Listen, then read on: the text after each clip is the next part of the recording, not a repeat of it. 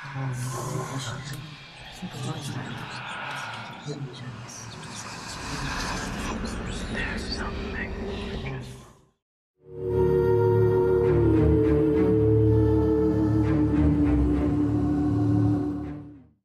Real life haunted story में कितनी सच्चाई होती है? वेल well, इसका अनुमान लगाना काफ़ी मुश्किल है क्योंकि हम एसेंशियली किसी के द्वारा कही गई बातों को सुनकर चीज़ें एनालाइज करते हैं।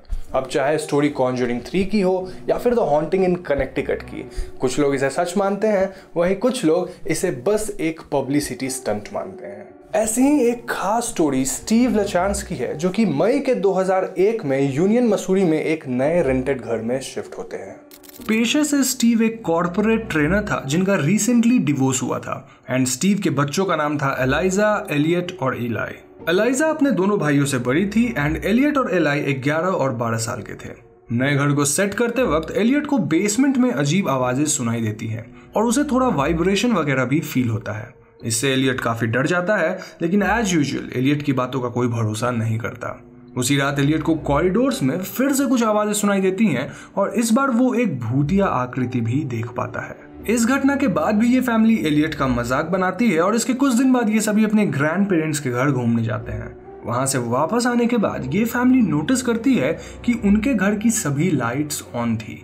स्टीव को लगता है कि शायद उनके घर में कोई ब्रेक इन किया है, लेकिन घर के सभी डोर्स और विंडोज़ सही वे में लॉक्ड थे। ऐसे में स्टीव सोचता है कि मे बी वही यहाँ से जाते वक्त लाइट्स ऑफ़ करना भूल गया होगा। इसके ठीक बाद स्टीव घर को चेक वगैरह कर रहा था। जब अचानक उसे ऐसा महसूस होता है, मानो कोई इलेक्ट्रिकल चार्ज उसके शरीर से पास करी हो। वंस अगेन स्टीव खुद को मनाता है कि मे बी ये एक राइटिंग इशू होगी, लेकिन तभी स्टीव को अपने बच्चों के कमरे से चिल्लाने की आवाज़ आती है और वो वहाँ जाता है। दरअसल एलाइजा ने कमरे के दरवाजे पे किसी शख्स को देखा था एंड समहाउ उनका रूम अपने आप लॉक भी हो गया था। इतना ही नहीं, इनके रूम के डोर्स पे नॉक हो रहा था, लेकिन स्टीव के आते सब कुछ काइंड ऑफ़ कंट्रोल में आ जाता है। इस पॉइंट पे स्टीव को भी पैरानॉर्मल चीज़ें महसूस होने लग गई थी, लेकिन फिर भी नेक्स्ट डे वो अपने डैड को वायरिंग वगैरह चेक करने बुलाता है। अब स्टीव के डैड जब वायरिंग को चेक कर रहे थे तो उन्हें बेसमेंट में बुचर शावर दिखता है। अब जिन्हें यहाँ बुचर शावर के बारे में नहीं पता, उन्हें मैं बता दूँ कि तकरीबन 100 साल पहले कुछ फार्मर्स के घर में ऐसे शावर हुआ करते थे, जिनका इस्तेमाल फार्मर्स किसी एनिमल्स को बुचर करने के बाद ब्लड स्टेन्स को हटाने के लिए करते थे। उस जमाने में यूजुअली ऐसा शावर खून से लथपथ होता था, और ये इस घर में हुए वायलेंस का अर्ली इंडिकेशन था। तो बुचर शावर के पाए जाने के बाद घर में पैरानॉर्मल एक्टिविटीज़ और भी ज़्यादा बढ़ गई। लाइक किसी के चिल्लाने की आवाज़ आना डोर पे नॉक होना या फिर इवन पूरे घर का वाइब्रेट होना। ऐसे में स्टीव और उसकी फैमिली ने कुछ ऐसा किया जो यूजुअली हॉरर मूवीज़ में लोग नहीं करते हैं। यस yes, वो लोग घर छोड़कर रातों रात भाग गए। इसके बाद ये प्रॉपर्टी फिर से सेल पे गई और ऐसे में लिंडा मार्च की फैमिली ने इस प्रॉपर्टी को रेंट किया। लिंडा की फैमिली में उनके हस्बैंड एनेथ और उनकी तेरह साल की बेटी एशली भी थी और ये तीनों इस घर में रहने लगे। प्रोफेशन वाइज एनेथ एक नर्सिंग होम के मेंटेनेंस वर्कर थे और लिंडा किसी डिपार्टमेंट स्टोर की सेल्स एसोसिएटिव थी। घर को डेकोरेट करते वक्त लिंडा को ऊपर के फ्लोर से कुछ आवाज़ें सुनाई देती हैं, जबकि घर में उस वक्त लिंडा के अलावा और कोई नहीं था।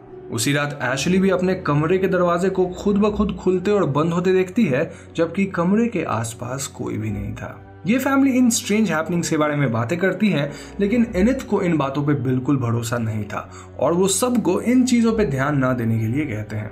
दूसरी तरफ़ स्टीव को अब भी उस घर से जुड़ी नाइट में आ रही थी, इसलिए वो इस घर को विज़िट करके लिंडा और उनके हस्बैंड से मिलता है। स्टीव कहता है कि ये घर हॉन्टेड है, और ऐसे में लिंडा स्टीव का यकीन करती है, लेकिन एनिथ को स्टीव की बातों पर भरोसा नहीं था। उस रात एशली घर के बाहर एक पेड़ के ऊपर किसी बेबी को टंगा हुआ देखती है, लेकिन जैसे ही वो अपने मॉम को बुलाती है, वो बेबी अपने आप ही गायब हो चुका था।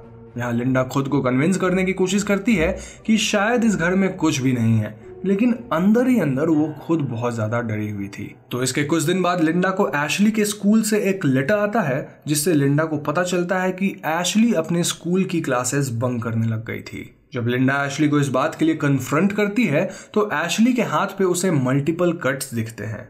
इस पॉइंट पे एशली अपनी मॉम लिंडा पे ही चिल्ला देती है, और वो कहती है कि उसे अपने आप को कट करने में अच्छा लगता है, और वो ऐसा बार बार करती रहेगी।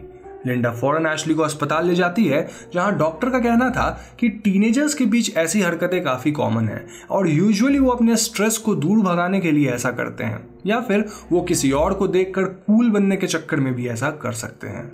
ये बात सुनने में तो ठीक लगता है, लेकिन लिंडा इस पॉइंट तक मानने लग गई थी कि उसकी बेटी किसी इविल एंटिटी के कब्जे में है, या फिर वो सिंपली पोजेस्ड है।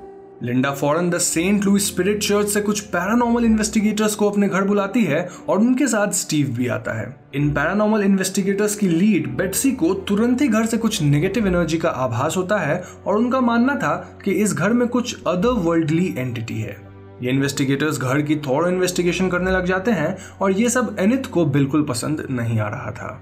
इन्वेस्टिगेटर्स को अपनी इक्विपमेंट्स की मदद से एक फेंट आवाज़ सुनाई देती है और इस आवाज़ को ट्रेस करते हुए वो ऊपर के कमरे में पहुँचते हैं। कमरे में ईएमएफ e मीटर कुछ इलेक्ट्रोमैग्नेटिक फ्लक्चुएशंस पकड़ती है और यहाँ बेटसी एक ओल्ड मैन की प्रेजेंस को महसूस करती है जो कि कमरे के एक कोने में खड़ा था। ये ओल्ड मैन बार बार कह रहा था कि दिस इज़ माई हाउस इन बातों से बेत्सी ये अनुमान लगाती है कि ज़रूर ये बूढ़ा आदमी पहले इसी घर में रहा करता होगा, और उसकी आत्मा आज तक इसे अपना घर मानती है और दूसरों को यहाँ नहीं आने देती है। खैर बेट्सी एशली के कमरे को भी चेक करती है, जहाँ उसे पावरफुल नेगेटिव एनर्जी फील होती है। बेट्सी का मानना था कि एशली के पास कुछ साइको काइनेटिक एबिलिटीज है, जिसकी मदद से उसने खुद की एक नेगेटिव एनर्जी क्रिएट करी है, और वो इसी रूम में है। फाइनली ये इन्वेस्टिगेटर्स घर के बेसमेंट में जाते हैं, जहाँ एक दूसरी एंटिटी मौजूद थी। और ये एंटिटी काफ़ी एक्साइटेड और गुस्से में थी। इस एंटिटी को लोगों का प्रेजेंस पसंद नहीं आ रहा था और बेट्सी को यहाँ एक साइकिक फोर्स फ़ील्ड महसूस होता है। इन सभी चीज़ों को इन्वेस्टिगेट करने के बाद बेट्सी क्लियरली सेज कि ये घर हॉन्टेड है। इस बात को जानकर लिंडा काफ़ी घबरा जाती है और वहीं स्टीव इस प्रॉपर्टी की हिस्ट्री को लेकर रिसर्च करने लग जाता है। स्टीव लोकल लाइब्रेरीज में प्रॉपर्टी के बारे में पढ़ता है, जहाँ वो जान पाता है कि कई साल पहले वो घर किसी कॉन्फेडरेट ऑफिसर का था।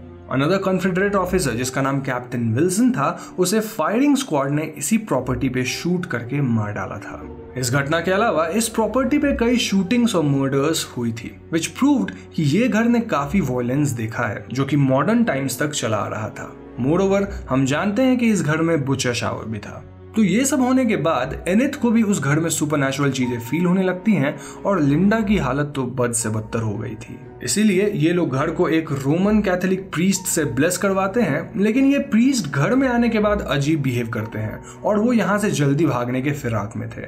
दिस अगेन प्रूव्ड कि इस घर में कुछ न कुछ तो ज़रूर था। ना ऑब्वियसली उस प्रीस्ट की ब्लेसिंग काम नहीं करती। इनफैक्ट घर में सुपर नेचुरल हैपनिंग्स और बढ़ जाती है। मानो घर के घोस्ट अब गुस्सा हो चुके हैं। लिंडा खुद को मेंटली हेल्दी रखने के लिए एक साइकियाट्रिक हेल्प लेती है और लिंडा के साइकियाट्रिस्ट का नाम इमरान था। इमरान लिंडा की जाँच के बाद उसे डिप्रेस्ड बताते हैं, लेकिन कहीं ना कहीं इमरान को भी स्प्रिट वाली बातों में यकीन था। इमरान लिंडा को मेडिसिन तो देते ही हैं, साथ ही वो इसे इस घर को छोड़ देने के लिए भी कहते हैं। फाइनली लिंडा और उसकी फैमिली इस घर को छोड़ने का डिसाइड करते हैं और उनके ऐसा करते ही उनकी लाइफ में सब कुछ फिर से ठीक होने लग जाता है। अब उस घर में किसकी स्पिरिट थी? वहाँ स्पिरिट थी भी कि नहीं? इन सब सवालों का जवाब तो मेरे पास नहीं है। लेकिन मैं इतना ज़रूर बता सकता हूँ कि इस घर में जो दोबारा, यानी कि इस इवेंट के बाद जो फैमिली रहने आई, वो भी छह महीने में घर को छोड़कर चली गई। अब क्या स्टीव ये सब सेटअप कर रहा था? क्या सभी लोग झूठ बोल रहे थे? या फिर ये घर सच में हॉन्टेड है? इसका जवाब मेरे पास नहीं है। लेकिन मैं आपसे पूछना चाहता हूँ कि आप क्या मानते हैं? और आप अपनी ओपिनियन मुझे कमेंट में ज़रूर बताइए।